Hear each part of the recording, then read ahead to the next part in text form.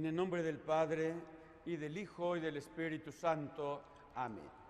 La paz, la caridad y la fe, de parte de Dios Padre y de Jesucristo el Señor, estén con todos ustedes. Buenos días, hermanos, hermanas. Bienvenidos a la Basílica de Nuestra Madre Santísima de Guadalupe. Como todos los días, a esta hora preside la misa el venerable Cabildo de Guadalupe, sacerdotes, colaboradores, juntos encomendándonos a Dios, también pidiendo por todos los peregrinos, visitantes, por todos ustedes aquí presentes, que damos la cordial bienvenida a los hermanos en su peregrinación del Club Deportivo Lomas Sporting. Que Dios les asista, les acompañe, les bendiga en su trabajo, en su familia, en todas sus actividades. Así pues, hermanos, purifiquemos nuestro corazón, pidamos perdón de nuestros pecados y rezamos. Yo confieso ante Dios Todopoderoso y ante ustedes, hermanos, que he pecado mucho de pensamiento, palabra, obra y omisión, por mi culpa, por mi culpa, por mi gran culpa. Por eso ruego a Santa María, siempre Virgen, a los ángeles, a los santos y a ustedes, hermanos, que intercedan por mí ante Dios nuestro Señor. El Señor Dios Todopoderoso tenga misericordia de nosotros, perdone nuestros pecados y nos lleve a la vida eterna.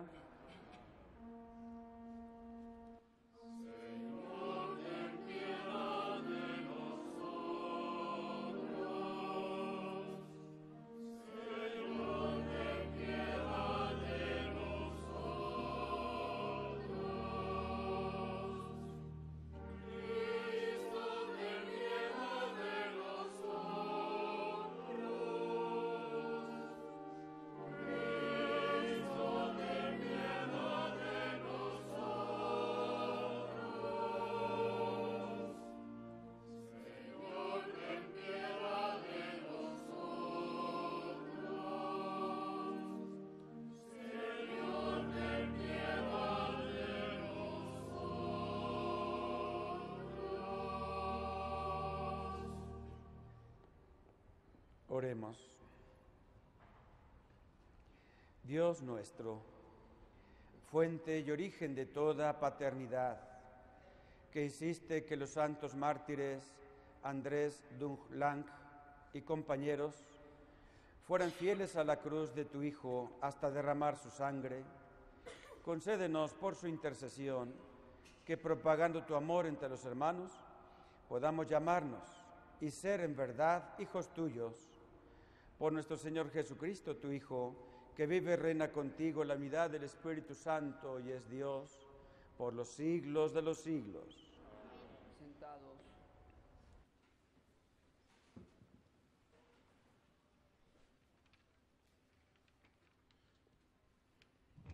Del libro del Apocalipsis del apóstol San Juan. Yo, Juan, tuve otra visión. Vi al Cordero en pie sobre el monte Sión y con él ciento cuarenta y cuatro mil personas que llevaban grabado en la frente el nombre de, del Cordero y el nombre de su Padre. Y oí un ruido que venía del cielo, parecido al estruendo del mar y al estampido de un trueno poderoso. El ruido que oí era como el de un gran coro acompañado de arpas cantaban un cántico nuevo ante el trono, ante los cuatro seres vivientes y los ancianos. Y nadie podía cantar el cántico fuera de los ciento cuarenta y cuatro mil que habían sido rescatados de la tierra. Estos son los que acompañan al Cordero a donde quiera que va. Estos son los que han sido rescatados de entre los hombres, las primicias para Dios y para el Cordero. En la boca de ellos no hubo mentira y son irreprochables ante Dios.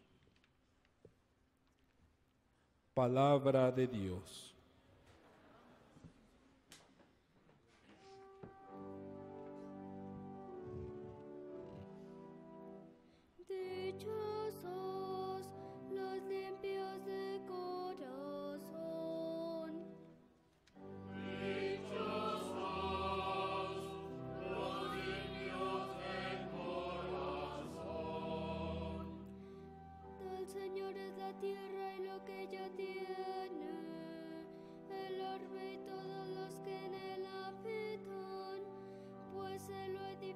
Sobre los mares, él fue quien lo asentó sobre los ríos.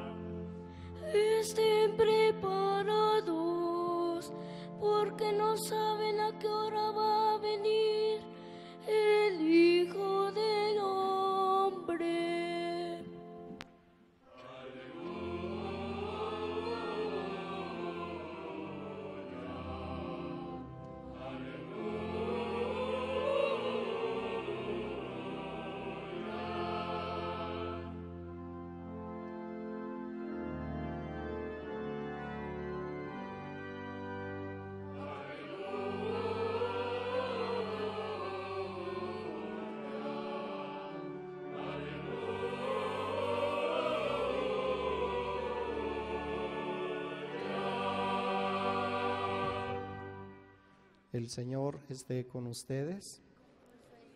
Evangelio de nuestro Señor Jesucristo según San Lucas.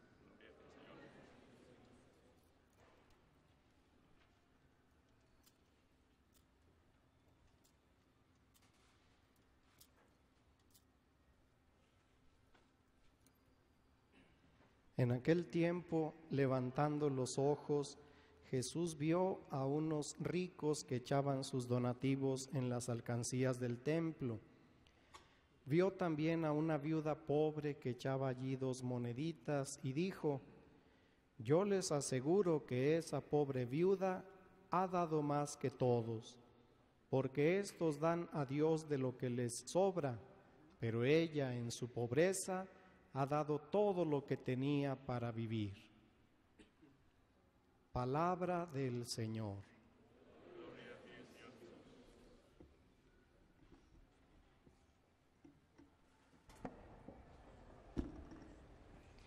Estimados hermanos, hermanas, ya estamos en la última semana del año litúrgico, propiamente ya a un mes de Navidad.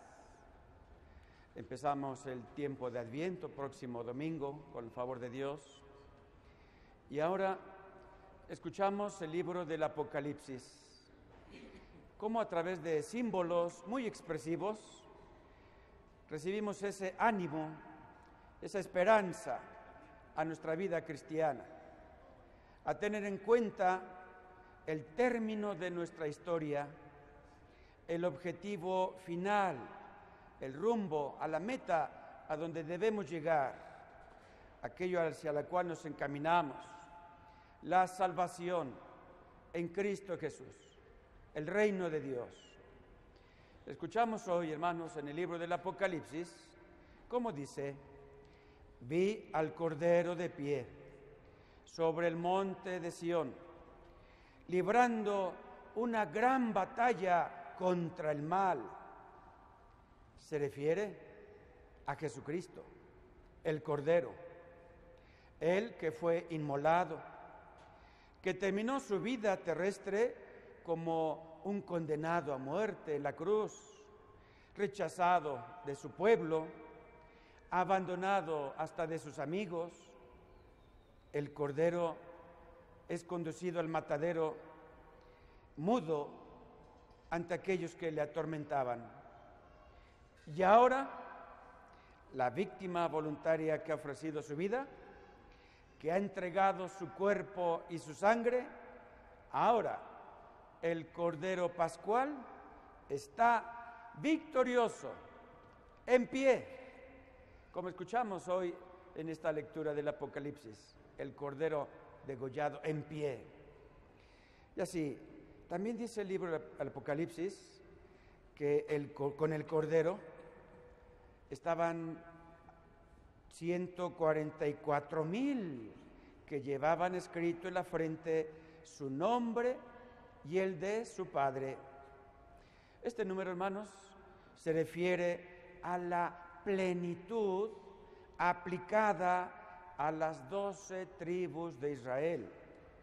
Son los que han permanecido fieles y forman parte del cortejo triunfal de Cristo Jesús. Es la primicia de la humanidad salvada. Son los que no se han dejado manchar por la idolatría, por el pecado.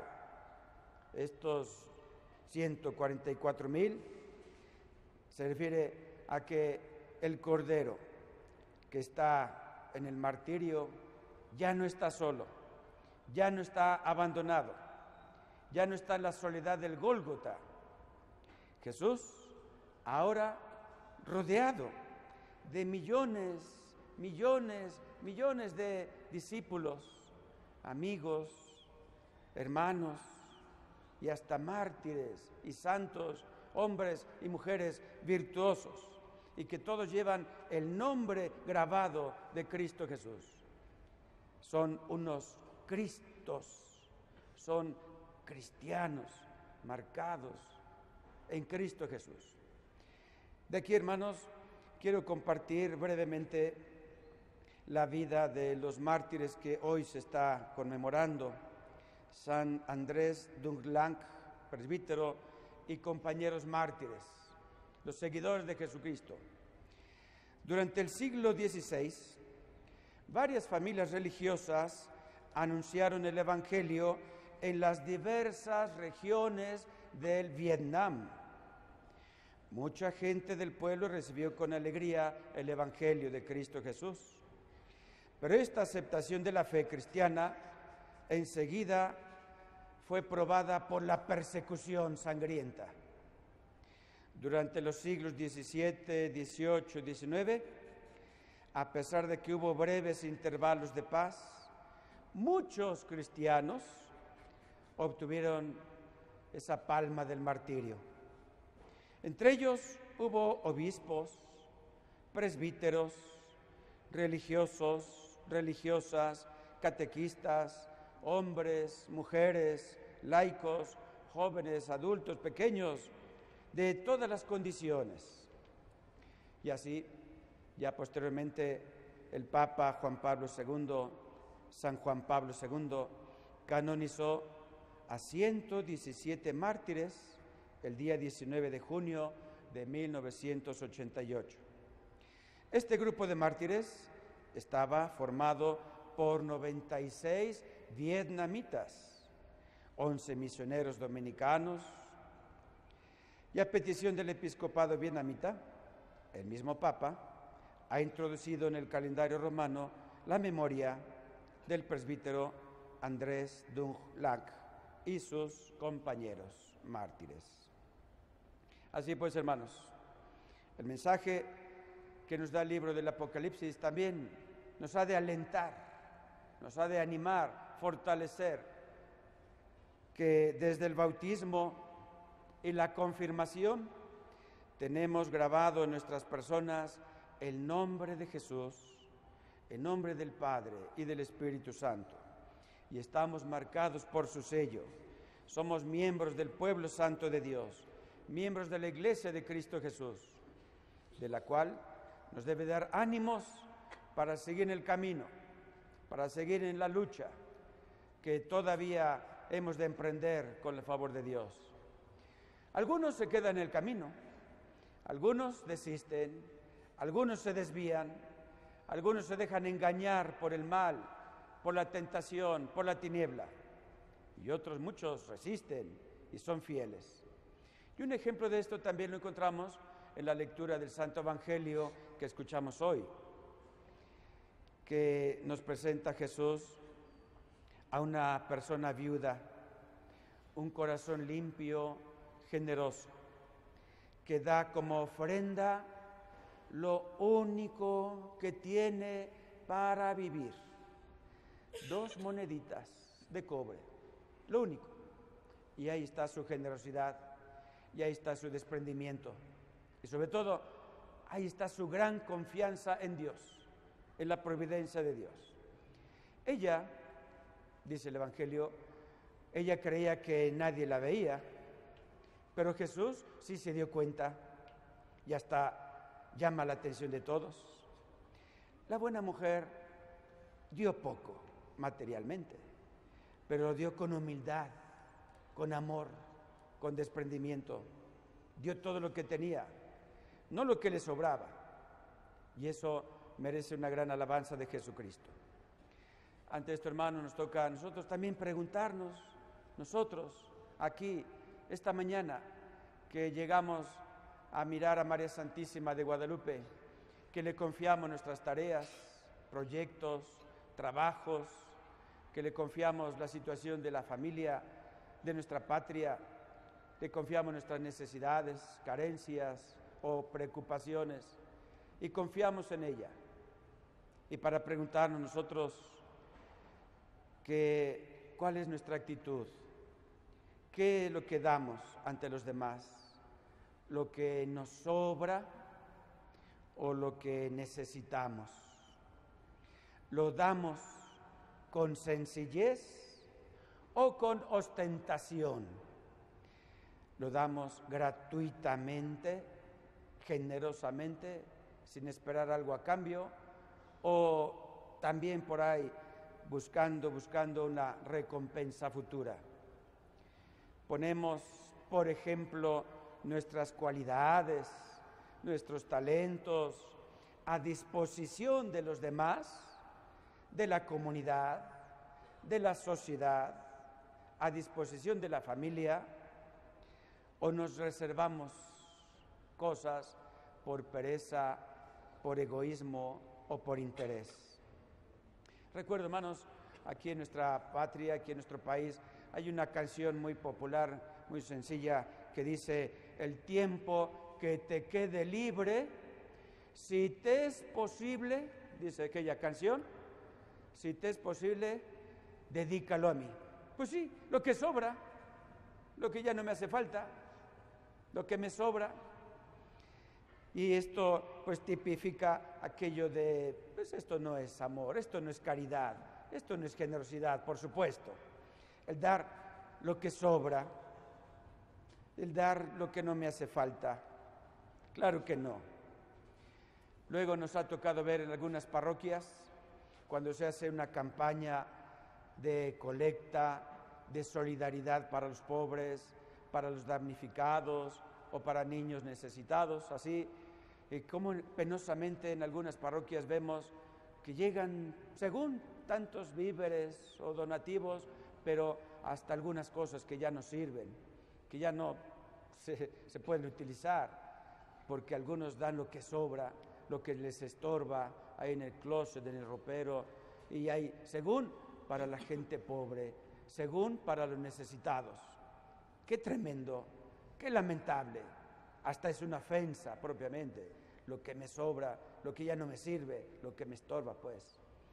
Así pues, hermanos, hoy podemos poner este propósito de tener esta confianza en Dios, la generosidad ante el hermano necesitado, confianza en Dios y en María Santísima, nuestra Madre. Roguemos al Señor, por intercesión de Santa María, Santa María, nuestra Madre Guadalupe, que nos conceda amar al prójimo hasta el extremo, a ser generosos, a ser testigos de esta confianza en Cristo Jesús. Así sea. Oremos al Señor y nos ponemos de pie.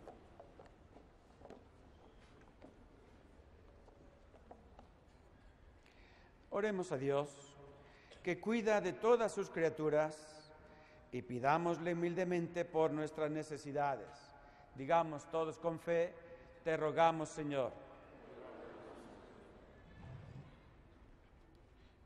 Para que el Señor proteja al Papa Francisco y ayude a nuestro obispo Norberto, roguemos al Señor. Te rogamos Señor. Para que dé prosperidad a nuestra ciudad y conserve en el amor y la concordia a sus habitantes, roguemos al Señor. Te rogamos Señor. Para que proteja a los pobres y auxilie a los oprimidos, roguemos al Señor. Te rogamos Señor. Para que recompense con sus beneficios a nuestros parientes y bienhechores, roguemos al Señor. Te rogamos Señor. Para que no deje de su mano a todos los que en nuestro país han sido víctimas de la violencia, los que han sido desaparecidos, especialmente por los jóvenes normalistas de Ayotzinapa, también por sus papás y sus compañeros, pedimos que les envíe su consuelo en estos momentos tan llenos de dolor y angustia, roguemos al Señor. Señor. Por todos los que peregrinan hasta esta basílica en estos días, especialmente hoy por nuestros hermanos del Club Deportivo Lomas Sporting, para que el Señor atienda todas sus necesidades e intenciones, por la intercesión de Santa María de Guadalupe, roguemos al Señor.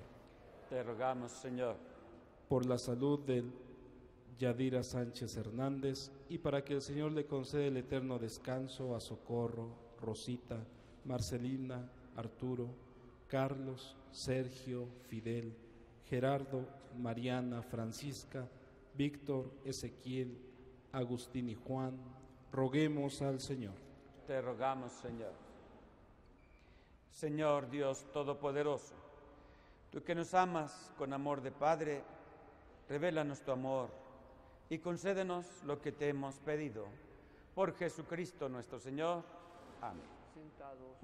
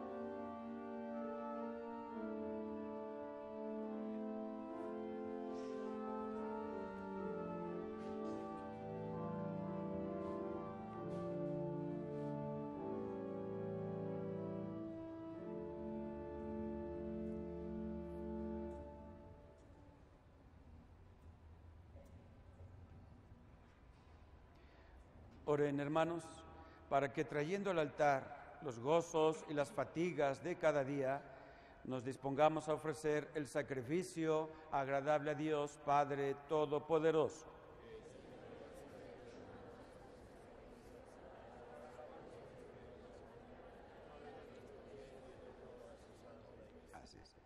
Recibe, Padre Santo, los dones que te presentamos al venerar la pasión de tus santos mártires y concédenos que en medio de las adversidades de esta vida permanezcamos siempre fieles a ti y nos convirtamos en ofrenda agradable a tus ojos por Jesucristo nuestro Señor.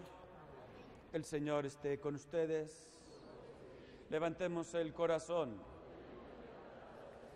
Demos gracias al Señor nuestro Dios. En verdad es justo y necesario, es nuestro deber y salvación darte gracias siempre y en todo lugar, Señor Padre Santo, Dios Todopoderoso y Eterno, porque la sangre de tus mártires derramada como la de Cristo, para proclamar su fidelidad a ti, manifiesta tu admirable poder, que convierte la fragilidad en fortaleza y al hombre débil robustece para que sea testigo tuyo por Cristo Señor nuestro. Por eso, como los ángeles te cantan en el cielo, así nosotros en la tierra te aclamamos diciendo sin cesar.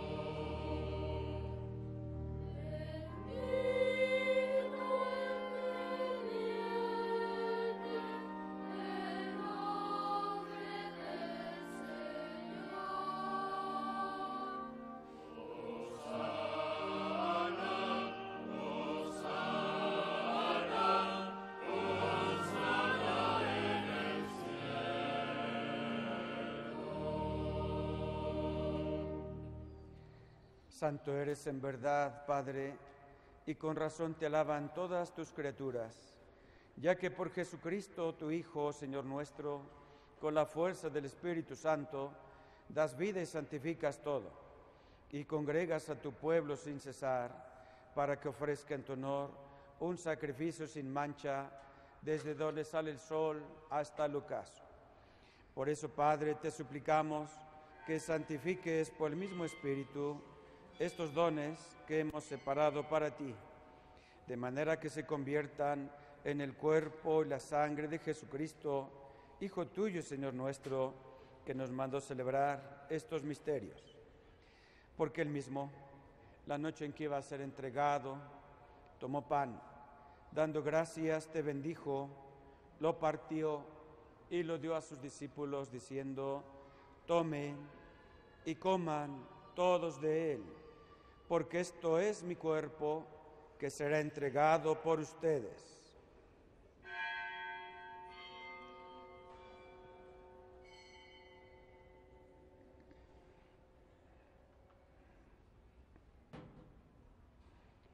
Del mismo modo, acabada la cena, tomó el cáliz, dándote gracias de nuevo, lo pasó a sus discípulos diciendo, tomen y beban todos de él porque este es el cáliz de mi sangre, sangre de la alianza nueva y eterna, que será derramada por ustedes y por muchos para el perdón de los pecados. Hagan esto en conmemoración mía.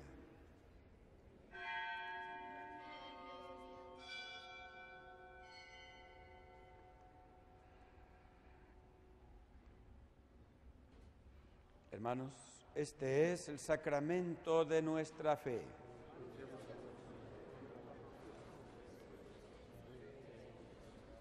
Así pues, Padre, al celebrar ahora el memorial de la pasión salvadora de tu Hijo, de su admirable resurrección y ascensión al cielo, mientras esperamos su venida gloriosa, te ofrecemos en esta acción de gracias el sacrificio vivo y santo. Dirige tu mirada sobre la ofrenda de tu iglesia y reconoce en ella la víctima por cuya inmolación quisiste devolvernos tu amistad, para que fortalecidos con el cuerpo y la sangre de tu Hijo y llenos de su Espíritu Santo, formemos en Cristo un solo cuerpo y un solo espíritu. Que Él nos transforme en ofrenda permanente para que gocemos de tu heredad junto con tus elegidos, con María la Virgen Madre de Dios, San José, su esposo, los apóstoles y los mártires, y todos los santos, por cuya intercesión confiamos obtener siempre tu ayuda. Te pedimos, Padre, que esta víctima de reconciliación traiga la paz y la salvación al mundo entero. Confirme en la fe y en la caridad a tu iglesia peregrina en la tierra, a tu servidor el Papa Francisco, a nuestro arzobispo Norberto, sus obispos auxiliares, Monseñor Enrique Gleni, rector de este santuario, al orden episcopal, a los presbíteros y diáconos y a todo el pueblo redimido por ti. Atiende los deseos y súplicas de esta familia que has congregado en tu presencia. Reúne en torno a ti, Padre misericordioso, a todos tus hijos dispersos por el mundo, a nuestros hermanos difuntos y a cuantos murieron en tu amistad, recíbelos en tu reino, donde esperamos gozar todos juntos de la plenitud eterna de tu gloria. Por Cristo, Señor nuestro, por quien concedes al mundo todos los bienes. Por Cristo, con Él y en Él. A ti, Dios Padre Omnipotente, en la unidad del Espíritu Santo, todo honor y toda gloria por los siglos de los siglos. Dirijámonos a nuestro Padre Dios con la oración que Jesucristo nos ha enseñado. Padre nuestro que estás en el cielo, santificado sea tu nombre. Venga a nosotros tu reino. Hágase tu voluntad en la tierra como en el cielo. Danos hoy nuestro pan de cada día. Perdona nuestras ofensas, como también nosotros perdonamos a los que nos ofenden no nos dejes caer la tentación y líbranos del mal. Líbranos, Señor, de todos los males y concédenos la paz en nuestros días, para que, ayudados por tu misericordia, vivamos siempre libres de pecado y protegidos de toda perturbación, mientras esperamos la gloriosa venida de nuestro Salvador Jesucristo.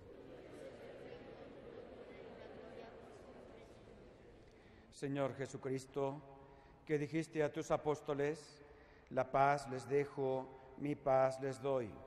No tengas en cuenta nuestros pecados, sino la fe de tu iglesia, y conforme a tu palabra, concédele la paz y la unidad.